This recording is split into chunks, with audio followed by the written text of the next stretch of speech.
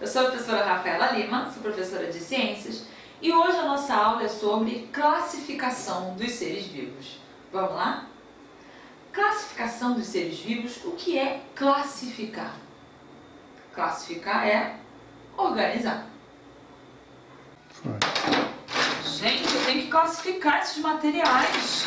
É muita coisa. Como é que eu faço? Separo aqui caneta, caneta, cola, borracha. Tá, mas dentro de caneta eu tenho que organizar melhor. Tá, caneta, separo o quê? Caneta azul, outro grupo de caneta azul, caneta com tampa. Gente, classificar não é tão fácil. Então você me viu aí nesse dilema. Como eu organizo? Como eu classifico? O que, que eu faço? Esse dilema, é claro que num nível muito mais complexo, estiveram cientistas também, para organizar essa imensa diversidade de seres vivos que a gente tem, né? dentro aí dos reinos, essa organização. Aí, em meados do século XVIII, um cientista sueco, médico, pesquisador, ele, botânico, né? puxando aí para o meu lado, chamado de Carlo Linné, que a gente chama popularmente de Linneu, aqui do nosso lado. Linneu foi quem tomou para si, quem iniciou e quem tomou aí, a, levou as honras como o organizador responsável pela classificação dos seres vivos.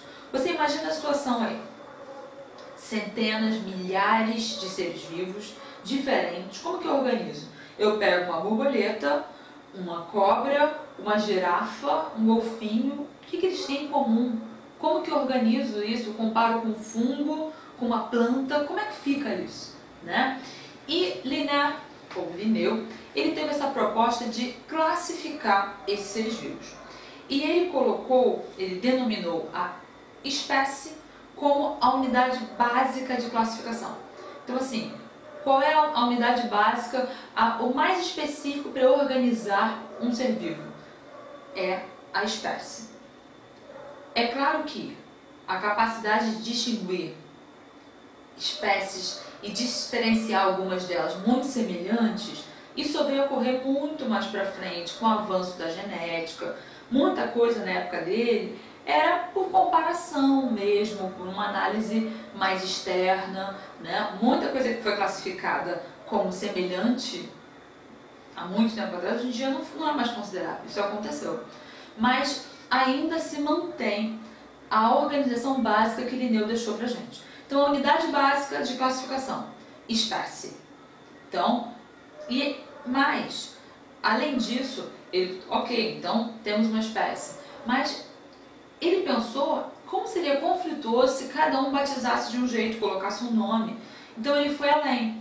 Ele deu regras de nomenclatura. Como que nós vamos dar nome a essas espécies? É a unidade básica? Sim. Mas como é que a gente vai organizar isso? Então Linneu ele foi além. Então vamos agora analisar quais foram as regras de classificação, as regras de nomenclatura deixadas aí por Linneu, certo? Primeiro, a Nome, a nomenclatura é binominal. Então, a espécie é a unidade básica, porém a definição, o nome é sempre um nome duplo, binominal, que a gente chama de gênero e o epíteto específico, que é o segundo nome. O gênero, ele ainda é uma classificação um pouquinho mais genérica. Eu vou ter seres diferentes dentro de um gênero. Agora, o epíteto específico, aí sim, é tipo nome e sobrenome. Agora, agora foi, agora é ele mesmo. Então, regra nomenclatura número 1 um, é binominal, tem que ter dois nomes. Uma segunda regra que ainda deixou pra gente é que esse nome tem que ser escrito em latim. Definiu-se assim e ficou como uma linguagem universal. Porque você imagina, a gente aqui, português, falamos gato, o americano fala cat, o japonês, o, o sueco, complicou. Então, estando em latim, fica uma coisa universal. Nome científico do gato, Felis catus. Felis catus. Em mandarim, em português e sueco é a mesma coisa. Pronto. Eu tenho uma uniformização na ciência, certo? Então, nome científico em latim. Outra regra, esse nome sempre tem que estar destacado no texto, ou em negrito, ou em itálico, ou sublinhado, sempre destacado, certo? E ainda há um detalhamento na escrita dele. Primeira letra, sempre maiúscula. Vou botar aqui o exemplo do Félix Cato. Ó, primeira letra, maiúscula. Todo o resto, minúsculo. Repara aí, certo? Ou seja, são as regras de classificação, regras de nomenclatura, para dar nome a esse seja, certo? Agora, tá, legal. Temos, eu sei que a unidade básica é espécie, eu já sei dar nome, tá ótimo, tá lindo. E aí? Como que vai se fazer para organizar? Foi criado taxons, grupos para organização. Então eu tenho, pego um grupo maior, dentro dele um grupo menor, outro menor, outro menor, até chegar no mais específico que é a espécie, certo?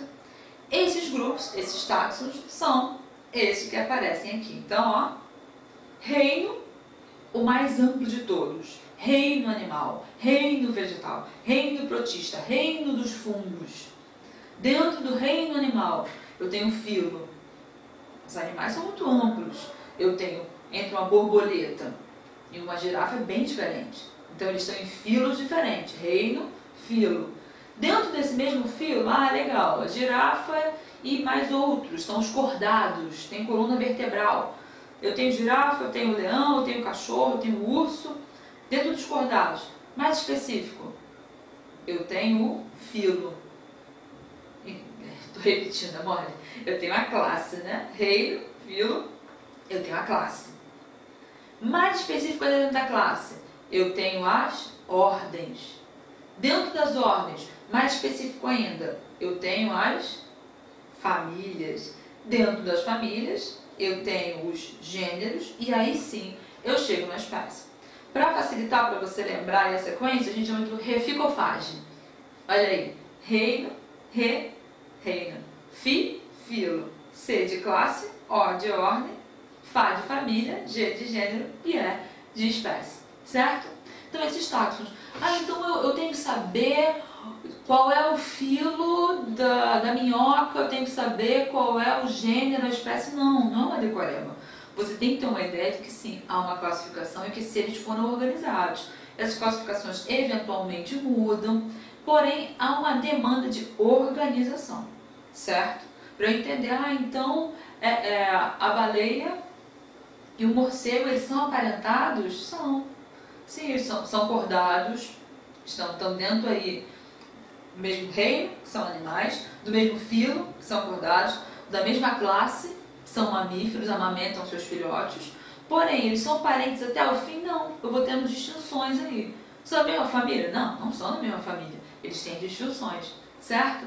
E assim foi se organizando. Esses são os táxons. Então, tranquilo aí? Os táxons, certo? Então, tá, ficou tranquilo? A classificação de seres vivos, é importante que você termine essa aula entendendo a importância dessa classificação, que você lembre a importância do Linneu, que você grave, que você memorize as regras de nomenclatura e os taxos. Aí o nosso refico faz. Certo? Tranquilo, né? Então, ficamos por aqui na nossa videoaula de hoje. Até a próxima. Tchauzinho! Gostou da aula? Curte. Tiver dúvida, deixa no comentário e se inscreve no nosso canal. Não se esquece, não se esquece, tá bom? Beijo!